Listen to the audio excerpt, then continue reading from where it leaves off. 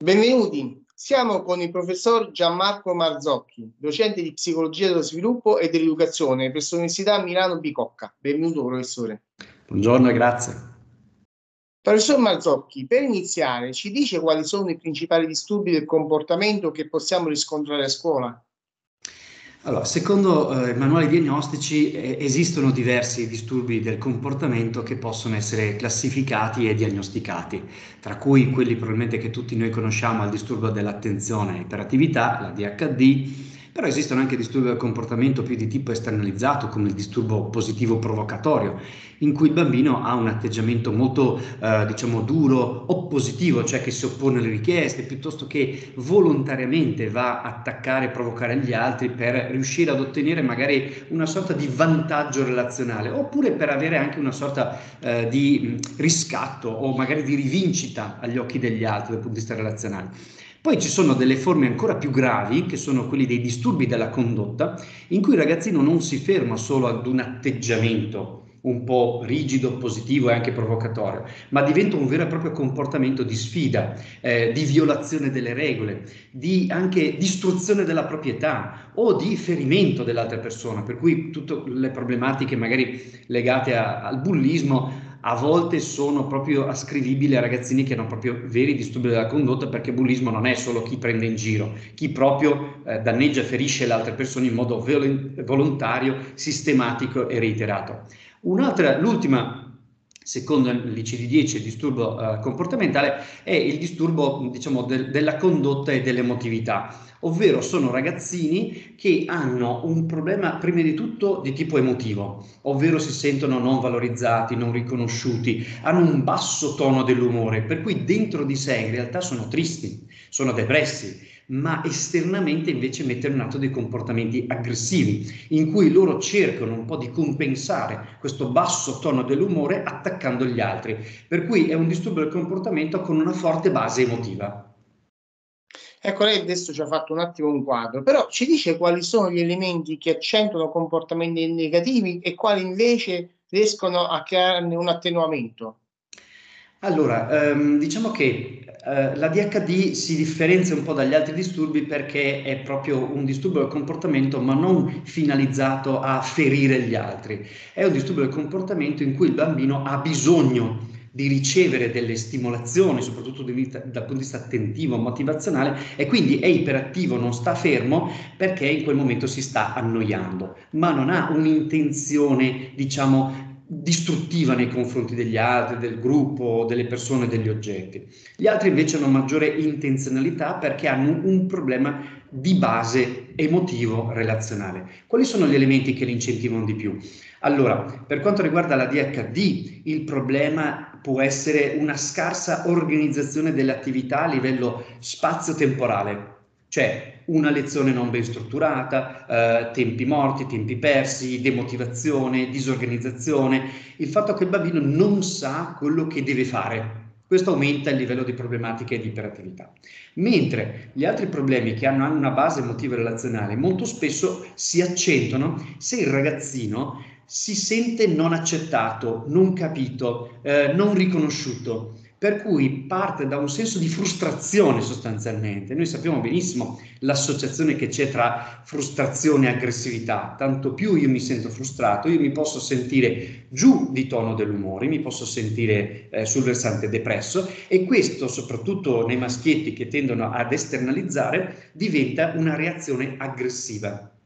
Quindi cosa, per rispondere alla sua domanda, cosa lo fa aumentare? Il senso di non comprensione, il senso di non inclusione, il senso di quindi emarginazione. Tu non vai bene, tu non sei adeguato, tu non sei all'altezza, tu non funzioni, tu non devi stare con noi. Questa percezione fa aumentare i livelli di aggressività. Ecco, a questo punto come dovrebbe comportarsi un insegnante di fronte alle varie casistiche che ci ha appena raccontato, che si possono presentare, di cui lei appunto ci ha accennato in questo momento?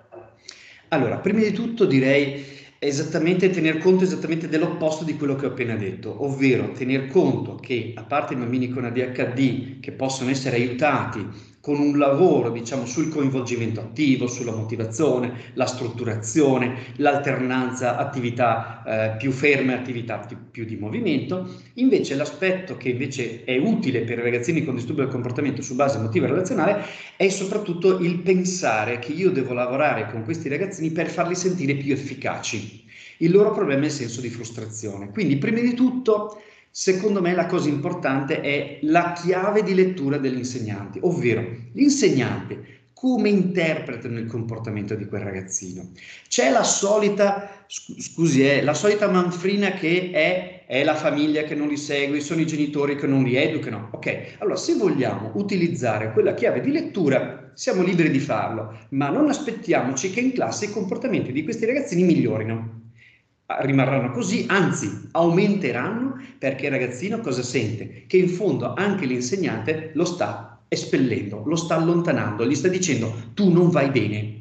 E nel momento in cui un ragazzino con problemi emotivi relazionali che manifesta comportamento, aumenta il problema. Quindi la seconda, doma- la seconda domanda come insegnante che mi farei è, ma tra colleghi, tra insegnanti, che chiave di lettura diamo perché se noi come insegnanti diamo una chiave di lettura condivisa e diamo un'idea di coerenza, questo ragazzino si sente molto più capito in un'ottica non divergente. Ok? Quindi il secondo punto è una lettura condivisa. La, seconda, mm, la, terza, eh, la terza lettura è che prima di tutto passa da noi adulti.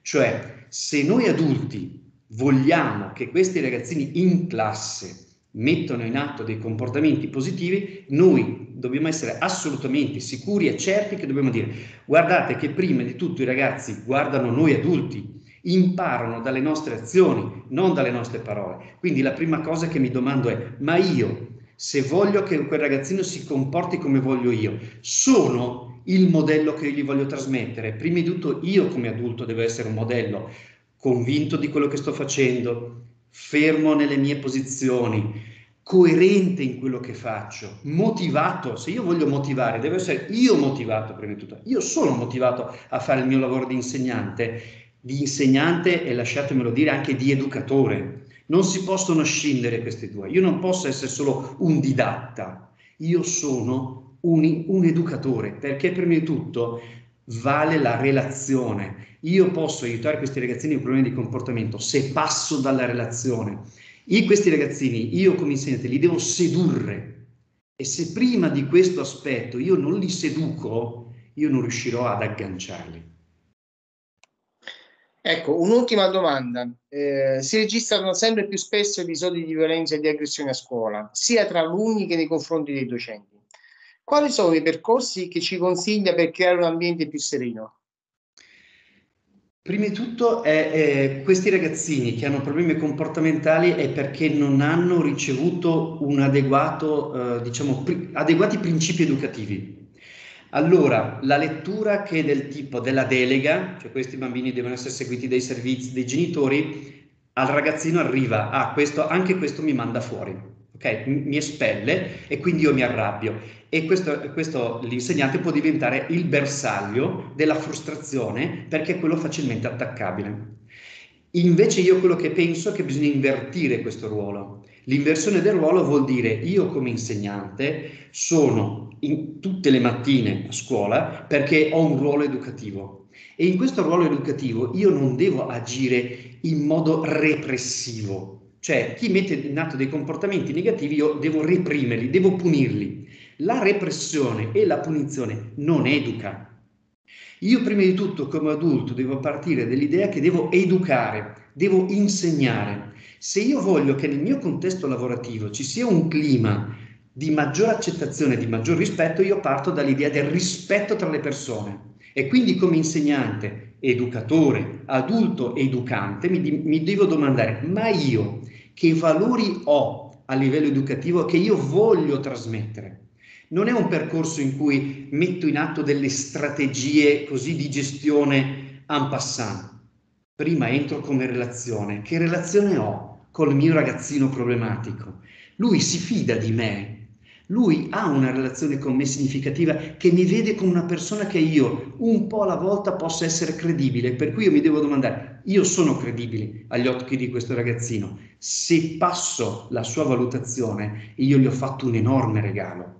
Gli ho insegnato una prospettiva di vita che nella vita, nel mondo nelle relazioni si possono rispettare gli altri e che rispettando gli altri si sta meglio piuttosto di mettere in atto delle azioni aggressivi per reagire alle proprie frustrazioni. Quindi secondo me non esistono delle strategie da applicare. Prima di tutto c'è la relazione, la relazione insegnante e alunno. Il focus è quello, il nucleo è quello, tutto il resto viene dopo, ma se non c'è quello, tutto il resto non ha senso.